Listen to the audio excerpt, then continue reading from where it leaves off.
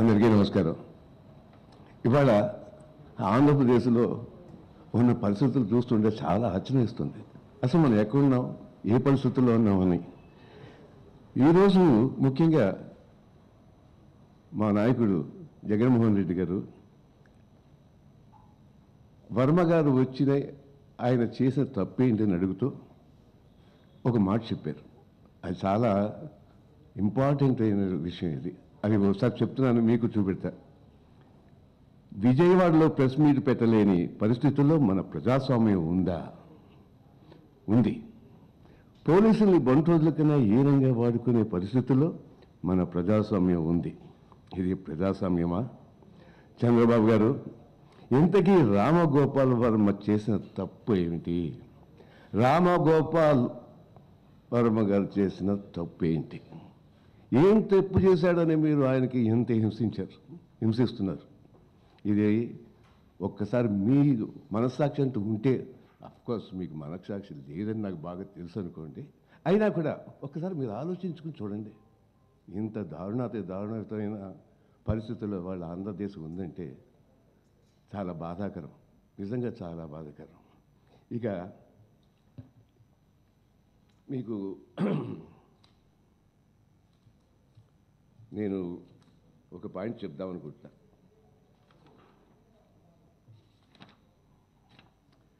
చూడండి బాబా సా- సాహెబ్ అంబేద్కర్ ఇచ్చినటువంటి మహత్తరమైనటువంటి మన కాన్స్టిట్యూషన్ ఉంది. అంత గొప్ప కాన్స్టిట్యూషన్లో ఉన్నటువంటివన్నీ కూడా ప్రతి ఒక్కరం కూడా మాట తప్పకుండా పరిపాలించవలసిన అవసరం మన మీద ఉంది. కానీ ఒకసారి మీరు ఆలోచించండి మీరు ఏం చేస్తున్నారు? ఒక పాయింట్ చెప్తాను. దీంట్లో కాన్స్టిట్యూషన్లోనే ఉన్న పాయింట్ నేను చెప్తున్నా.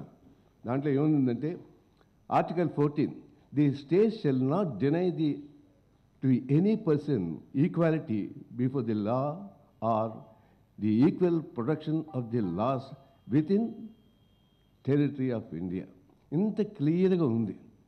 ఇవాళ మీరు రామగోపాల్ వర్మ అని ఆయన ఆయన ఇష్టం వచ్చి ఈ మన దేశంలో ఏ మూలకైనా వెళ్ళొచ్చు ఏ చోటకైనా వెళ్ళొచ్చు. ఫ్రీ ఫ్రీగా అతనికి constitution provide provided to every one of the citizens of India they can go to any place anywhere అలాంటి పరిస్థితుల్లో మనం ఉన్నాం. కానీ మీరు ఇటువంటి కాన్స్టిట్యూషన్లో ఉన్నటువంటి ఒక రైట్ని మీరు అసలు దాన్ని పట్టించుకోకుండా మీరు బిహేవ్ చేస్తున్న పద్ధతి మీరు పరిపాలించే పద్ధతి చాలా ఆందోళనకరంగా కలిగి కలిగిస్తుంది ప్రజలందరికీ కూడా. ఇక ముఖ్యంగా మీకు ఇంకొక విషయం కూడా నేను చెప్పాలి. ఇక చూడండి బేసిక్గా ఫండమెంటల్గా మనకు ఉన్న ప్రతి మనిషికి ప్రతి ఆంధ్రదేశ ప్రతి పౌరుడికి కూడా కొన్ని రైట్స్ ఉన్నాయి. ఆ రైట్స్ ముఖ్యంగా nineteen article all citizens shall have the right. A to freedom of speech and expression freedom of speech ప్రతి ఒక్కరూ కూడా వాళ్ళకి తోచింది అవతల వాళ్ళకి ఇస్తున్నాం లేక ఉందా లేకపోయినా కూడా తన భావాలని ఎక్స్ప్రెస్ చేసే వారికి ఆ ఫ్రీడమ్ ఉందన్న సంగతి మీరు మర్చిపోతున్నారు. మీరు ఆ టు ఫ్రీడమ్ ఆఫ్ స్పీచ్నే మీరు కాల రాసేయాలని ప్రయత్నం చేస్తున్నది చాలా చాలా చాలా పెద్ద పొరపాటు కాదు మిస్టేక్ అసలు ఆర్ అంటే కాన్స్టిట్యూషన్ ప్రొవైడ్ చేసిన దాన్ని ఉల్లంఘించడం అన్నది జరుగుతోంది ఇక్కడ. ఒకటి. Next to establish peacefully and without arms మూడు. To form association or unions నాలుగు. To article four to move freely throughout the territory of India to move freely no one can stop you అనమాట అండి. అది కూడా మీరు ఎందుకు ఏ పరిస్థితుల్లో ఏ ఉద్దేశంతో మీరు ఆ మన కాన్స్టిట్యూషన్ ప్రొవైడ్ చేసింది? ఆ ప్రొవైడ్ చేసిన దాన్ని మీరు ఆటంకం కలిగిస్తూ మీరు ఈ విధంగా ఇంత నీచాతి నీచమైన ఆలోచనతో ముందుకు సాగుతున్నారంటే ఎంత అసలు మీ మీ మానసిక పరిస్థితి మీద కూడా నాకు డౌట్స్ వస్తున్నాయి అన్నమాట. మీరు ఎందుకంటే కాన్స్టిట్యూషన్ని కాపాడుకోవాల్సినటువంటి ఒక ముఖ్యమంత్రిగా ఉన్న మీరు ఆ కాన్స్టిట్యూషనే మీరు డివేట్ చేస్తూ అసలు దాన్ని పట్టించుకోకుండా దాన్ని ఆ, కాల రాసేయటానికి ప్రయత్నం చేస్తున్నటువంటి ఇది చాలా అన్యాయం అని మీకు చెప్పడం కాకుండా ఇవాళ మీకు ఇంకో సంగతి చెప్పాలంటే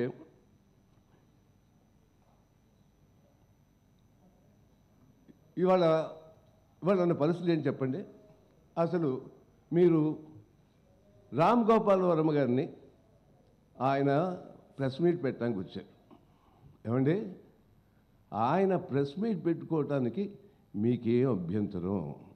ఆయన ప్రెస్ మీట్ పెట్టుకోవటానికి రైట్ ఉందా లేదా?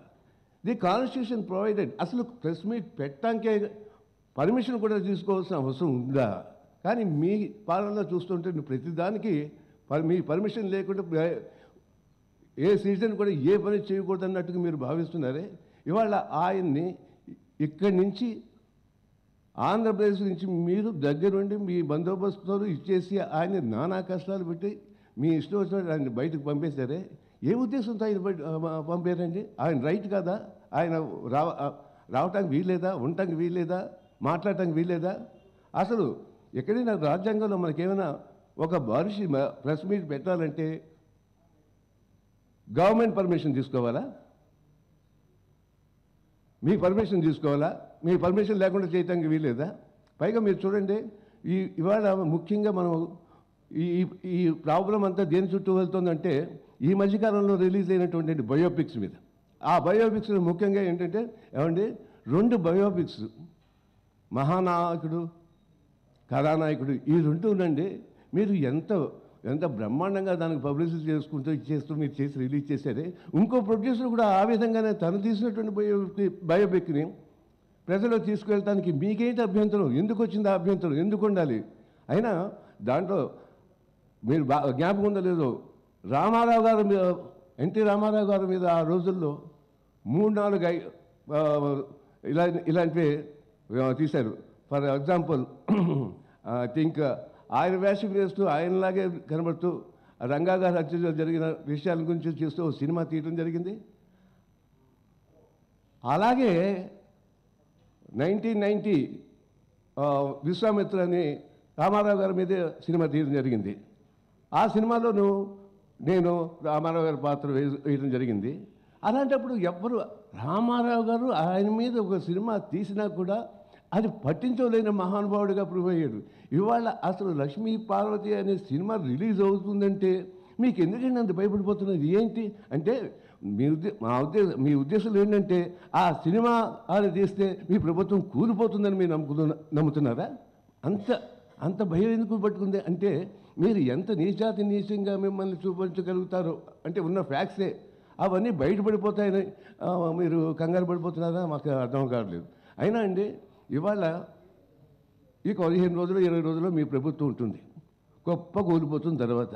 ఆ తర్వాత వచ్చే ప్రభుత్వం ఖచ్చితంగా వైఎస్ఆర్ కాంగ్రెస్ పార్టీ కాబట్టి ఈరోజు ఎవరైతే మనుషులు మీరు రేపు మీరు మీ అబ్బాయి కూడా ఇదే ప్రాంతంలోకి రావాలని ఆంధ్రప్రదేశ్లోకి రావాలంటే మిమ్మల్ని అక్కడ ఏ విధంగా అయితే మన వర్మ గారిని మీరు ఆటంకపరుస్తూ వెంటనే ఆయన పంపించేశారు ఈసారి ఒకవేళ అది జరగబోయేది అదే కాబట్టి మీరు ఆంధ్రదేశంలోకి రావడానికి వీలు లేకుండా అడ్డుకుని మిమ్మల్ని ఏ అండమాన్స్కో ఫ్లైట్లో మిమ్మల్ని పంపించేస్తారేమో? ఈ రైతు మీరు ఎక్సర్సైజ్ ఎక్సర్సైజ్ చేస్తున్నారు కదా. వాళ్ళు రేపు వచ్చిన ప్రభుత్వం కూడా ఆ విధంగా చేయొచ్చు కదా. ఏ అండమాన్స్కో ఏ దీవులకు పంపించేసి మిమ్మల్ని మీ అబ్బాయి ఇద్దరికి ఇచ్చే రైట్ ఉందంటారా? చేయొచ్చంటారా? చేసుకోమంటారు కదా. ఇలా చేసినప్పుడు ఖచ్చితంగా వచ్చే ప్రభుత్వాలు అలా ఎందుకు చెయ్యవు మీరు చేసిందే తప్పకుండా ఆ ప్రభుత్వాలు కూడా ఖచ్చితంగా చేసి తీర్థానికి ఆలోచన చేస్తుంది కదా. చేయొచ్చు కదా. చేయటం ధర్మమే కదా. అయినా ఒక రా పైగా ఈయనేమి ఇప్పుడు రామగోపాల్ వర్మ అనే ఆయన ఆయన ఎక్కడి నుంచో దిగొచ్చిన వాడు తెలుగువాడు.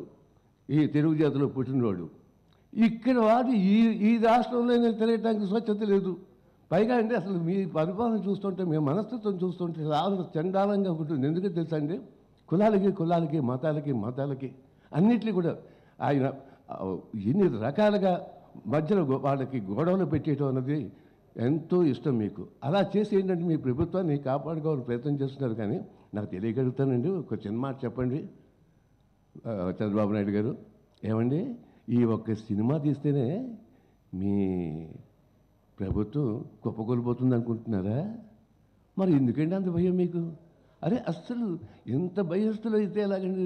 నలభై ఏళ్ళ ఎక్స్పీరియన్స్ అంటారు అన్నీ చెప్తూ ఉంటారు. కానీ ఒక్క విషయంలో మాత్రం ఈ మధ్యకాలంలో ఏదో ఒక జరుగుతున్న విషయాలను మిమ్మల్ని మీరు మాట్లాడే తీరు కానీ మీరు చెప్పే మాటలు కానీ మీరు ఆలోచించే విధానాన్ని కానీ ఇవన్నీ చూస్తుంటే ఎలా ఉందంటే something is wrong with you అదేంటో తెలియదు ఏదో భయం వెంటాడుతుంది. ఎందుకంటే మీరున్న పరిస్థితులు ఎందుకు మీరు భయపడిపోతున్నారంటే తప్పకుండా నేను చెప్పగల చెప్పగలుగుతాను.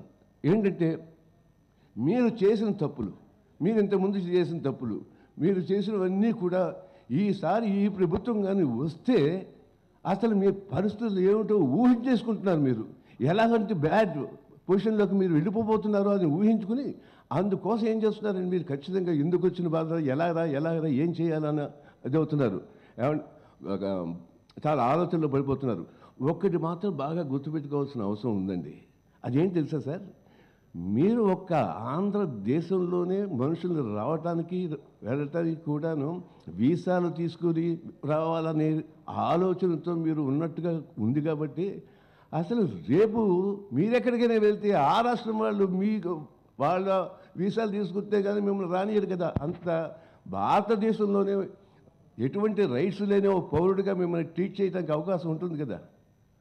సార్ మీరు మాటలు మాట్లాడుతుంటే ఈ మధ్యకాలంలో కొన్ని మాటలు మాట్లాడారు. కూడా ఎంత చండాలంగా ఉన్నాయో తెలుసా అండి మీరు చాలా నవ్వుకుంటూ మాట్లాడుతూ మాట్లాడుతూ ఏ అర్జునుడైనా ఆ కులంలో పుట్టాలని కోరుకుంటాడా? ఎస్సీలు ఎడ్జెడ్లు ఎవరైనా ఆ కులాల్లో పుట్టాలని కోరుకుంటారా?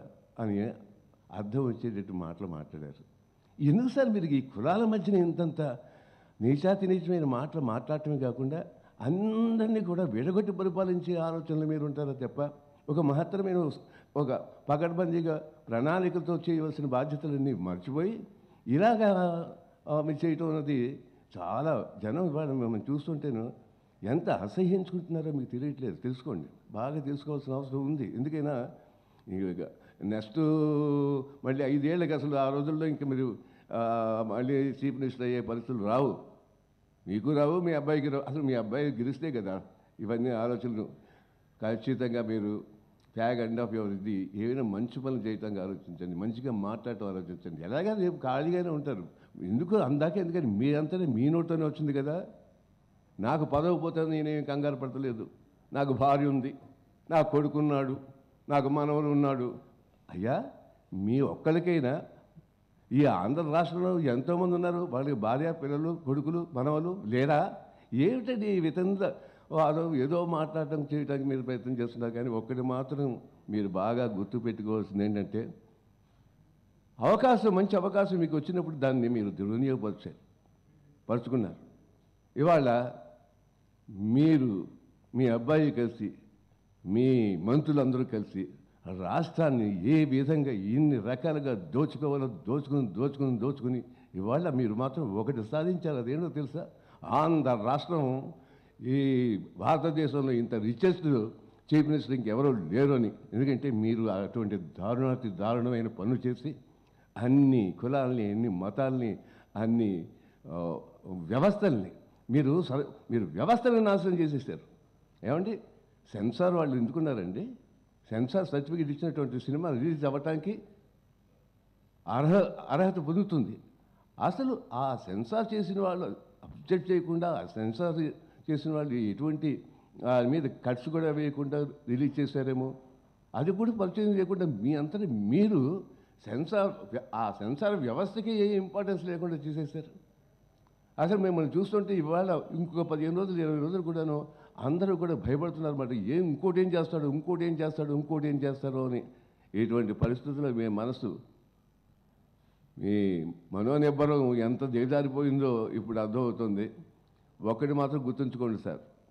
ఇవాళ ఒక యువనాయకుడు వస్తున్నాడు అంటే ఆ యువనాయకుడి కోసం ఎంతోమంది ఎప్పుడు వస్తాడా ఎప్పుడు వస్తాడా అన్న ఆతృతతో ఆనందంతో ప్రతి ఒక్కళ్ళు కూడా seventy five percent people eighty five percent of people అందరూ కూడా ఆయనకి స్వాగతం పలకటానికి రెడీ అవుతున్నారు. అలాంటివి ఇంతవరకు ఇంకా ఆయన ముఖ్యమంత్రి కాకపోయినా కూడాను చూడండి ప్రజలు ఎంత ప్రేమ పెంచుకున్నారు ప్రేమ పెంచుకుంటున్నారు. మా మనవడు మా కొడుకు మా మా- పిల్లోడు అనుకుంటూ మాకు ఇది తప్పకుండా చేస్తాడు ఈ మాట చెప్పాడు ఇది చేసి తీస్తాడు అని ఒక ప్రజల్లో ఇంకా పరిపాలన బాధ్యత తీసుకోకుండా ముందే కూడా అటువంటి నమ్మకాన్ని ప్రజల్లో కల్పించినటువంటి ఆ యువ నాయకుడిని చూసైనా మీరు జ్ఞానోదయం పొందవలసిన అవసరం ఉందండి. ఇది మాత్రం యథార్థం. ఇవాళ మాకు ఈ నాయకుడు వచ్చాడు మా జీవితాలు మారుస్తాడు మా జీవితాలు ఒక మంచి మార్పు తీసుకొచ్చే ప్రయత్నం చేస్తాడని నమ్మకం. ఆ నమ్మకాన్ని మీరు పోగొట్టుకున్నారు ఆ నమ్మకంతో ముందడుగేస్తున్నాడు జగన్మోహన్ రెడ్డి గారు. ఇవాళ ఆంధ్రదేశంలో కాదు యావత్ భారతదేశంలో కూడా యువనాయకుడి గురించి ఎంత విధిగా చెప్పుకుంటున్నారో ఎంత గొప్పగా చెప్పుకుంటున్నారో అన్ని అన్ని సర్వేలు చెప్తున్నాయి. ఇవాళ జగన్మోహన్ రెడ్డి గారు అఖండమైన మెజారిటీతో ఆయన రేపు ఇరవై మూడో తారీఖున మొత్తం ఆంధ్ర రాష్ట్రం అంతా కూడా పండుగలు పండుగలు చేసుకునే రోజు అనమాట సంక్రాంతి పండుగలా చేసుకునే రోజు వచ్చేస్తుందని చెప్తూ సెలవు తీసుకుంటాను. ఉంటాను. Thank you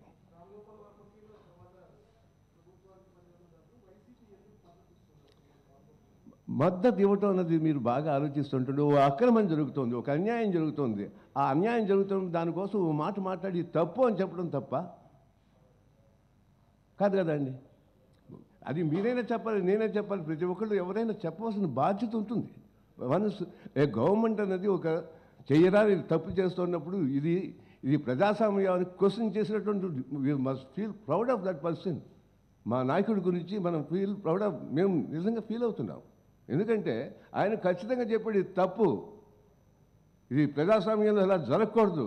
Because he going to be chief minister of this Andhra Pradesh very soon within days so already indirectly ఇంకా ఆయన ఆ పదవి స్వీకరించక ముందే కూడాను ఒక రూల్ని ఎలా వారు పాటించాలి ప్రతి ఒక్కళ్ళం కూడా మనకి మనకి ప్రొవైడ్ చేసినటువంటి రూల్స్ని అతిక్రమించకుండా పద్ధతిగా అన్నీ కూడా కరెక్ట్గా చేయవలసిన బాధ్యత ప్రతి పౌరుడి మీద ఉంటుందనే ఉద్దేశంతో ఓకే సార్ థ్యాంక్ యూ